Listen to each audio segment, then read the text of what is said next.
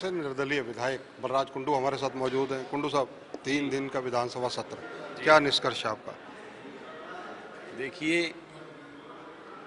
मेरा निष्कर्ष ये है अगर मैं सच बात आपके सामने कहूँ और बोलूँ तो इस तीन दिन में आप देखेंगे तो टोटली कितना बिज़नेस कितनी चर्चा हुई। और जो वहाँ पे आप और हाल उसको निष्कर्ष को निकालेंगे तो समय की बर्बादी ज़्यादा कहूँगा वहाँ पे होती है। ज़ीरो ओवर होता है ज़ीरो ओवर का मुद्दा होता है। किसी ज्वलनशील मुद्दे को उठाया जाए। वहाँ सत्ता पक्ष के विधायक अपनी डिमांड्स बता रहे हैं, अपने हल्के में मेरी सड़क नहीं बन रही, मेरी ये नहीं बन रही। कितना बड़ा दुर्भाग्य है ज़ीरो ओवर के अंदर कोई जो चर्चा होनी चाहिए, वो तो बेसिकली ज्वलनशील मुद्दे की और सत्ता के, बल्कि विपक्ष के लोगों को मौका दिया जाना चाहिए उसके अंदर भाई वो जो अपने क्वेश्चन और में उनकी जो बातें रह गई और उनको ऐसे विशेष हैं उस मुद्दे को वहाँ पे उठाएँ।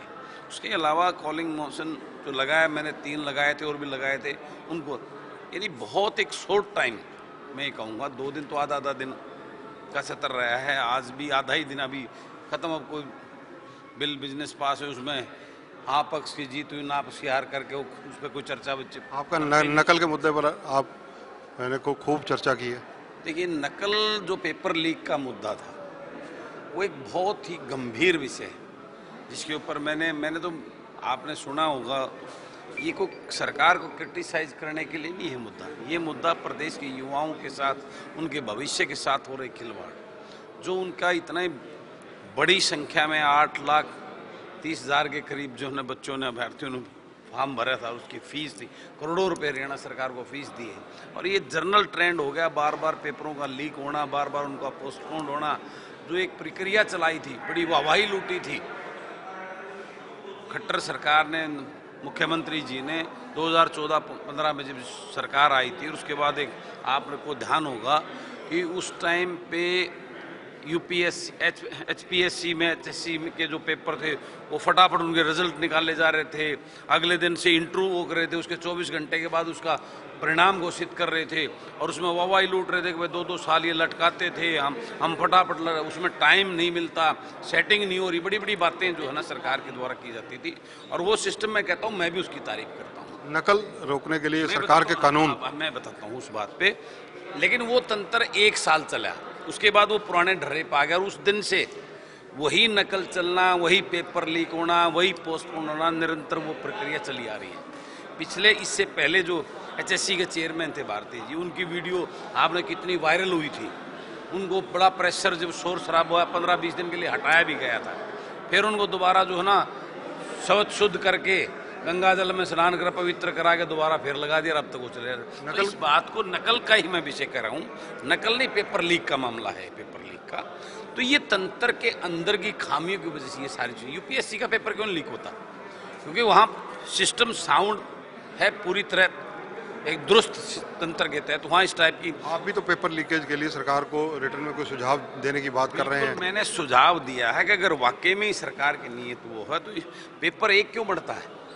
आप दस पेपर बनवाइए ना, दो पेपर को स्पेयर रखिए, कहीं कोई एक परसेंट होता है, आठ पेपर को हरियाणा में बीस, बाईस ज़िले हैं, उसमें डिस्ट्रीब्यूट किसी में दो, किसी में तीन भेजिए। और जो पेपर उसमें देना सारे पेपर भिजवा के, उसको दस मिनट पहले बताइए, ये वाला पेपर यहाँ पे इस डिस्ट्रिक्ट में अप्लीकेबल होगा, ये उसमें होगा। उसमें संभावना ही बहुत कम होगी जब पता ही नहीं चलेगा और उस कोऑर्डिनेटर को उसको ये पता है कि दस मिनट पहले पेपर आप एक पेपर एक बहुत बड़ा सवाल इसी बात पे है एक ही पेपर क्यों बनवा रहे हैं? ये तो कई एजेंसी से पेपर बनवाए जाते हैं और एन मौके पर डिसीज़न होता है कौन सा पेपर डिलीवर करना है। ये अपने आप में एक बहुत बड़ा घोटाला है कि एक पेपर कैसे बनवा रहे हो? आप वहाँ जम्मू तक पता लग रहे हैं डोडम तक वहाँ उसकी उस, लिंक जा रहे हैं। तो किसको कैसे पता चला कि वहाँ पेपर छपने के लिए वहाँ जाता है। ये अंदर का तंत्र की वजह से ना। सरकार वहाँ पे मुख्यमंत्री जी बता रहे हैं कि वहाँ हमने पकड़ लिया है और उनसे पूछ लिया है। और उन्हें छः हज़ार लाख में बेचा उसने इतने में बेचा है उतने उतने में। बेचा किसको? ये बात बता ही रहे। कुंडू साहब सीएम साहब ने तो आज आपकी तारीफ़ की भोला भाला। बताया आपको और कहा कि कहीं ना कहीं कांग्रेस की तरफ़ इंडिकेट किया धन्यवाद। लेकिन मुझे ये लगता है आज उनकी बात तो मैं था नहीं उस टाइम बाहर गया हुआ था। कि कहीं ना कहीं शायद मुख्यमंत्री जी को ये एहसास है कि मैं ये सब बातें, ये कॉलिंग मोशन और ये सारी चीज़ें मैं कांग्रेस के कहने से लेता हूँ। ये बिल्कुल उनका, मैंने तो कॉलिंग अटेंशन जो है नहीं, ये पंद्रह बीस दिन पहले लगा दिया। अभी वो तो उन्होंने पंद्रह दिन पहले लगाया है। मैंने तो पंद्रह दिन पहले जो है ये सब लगा दिया था विधानसभा में अध्यक्ष जी को दे दिया था। तो मैं जो भी काम करता हूँ अपनी बुद्धि से अपनी जानकारी से अपनी नॉलेज से और अपनी जिम्मेवारी समझकर मैं जो है ना वहाँ पे चर्चा करता हूँ वो लगाता हूँ क्वेश्चन सवाल लगाता हूँ। मैम के कौन कौन से ऐसे इश्यूज़ रहे जो आपको इन तीन दिनों में विधानसभा पटल पर उठाने का मौका मिला? देखिए मेरे महम में के तो पानी का इशू था एक जल भराव का इशू विशेष एक बहुत बड़ा इशू वहाँ पे था मेरे मैम गर्ल्स कॉलेज का इशू था। ये सब जो जो थे मैंने उठाए अपनी तरफ़ से पक्ष सरकार बाकी सरकार करना ना करना अभी तक तो कोई रिज़ल्ट है नहीं। दो साल से मैं बार बार उठाता आ रहा हूँ उन चीज़ों को।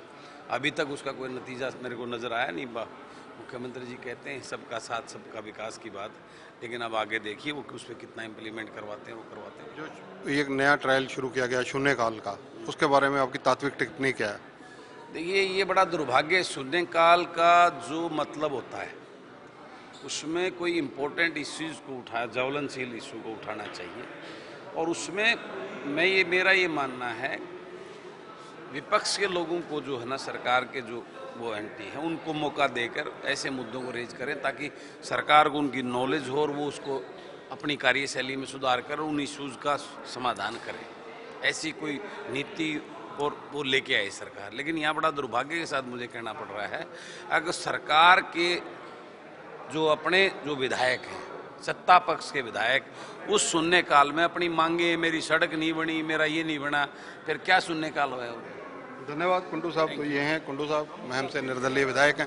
इनका कहना है कि शून्यकाल का प्रॉपर इस्तेमाल होना चाहिए प्रॉपर उसमें एक क्वेश्चन उठाकर उस पर ही ज़्यादा चर्चा होनी चाहिए। इसके अलावा इन्होंने महम की कुछ समस्याएँ बताई वो रखी नकल के मुद्दे पर। इन्होंने अपना स्टैंड क्लियर किया और सरकार को कुछ सुझाव देने की बात भी कही है।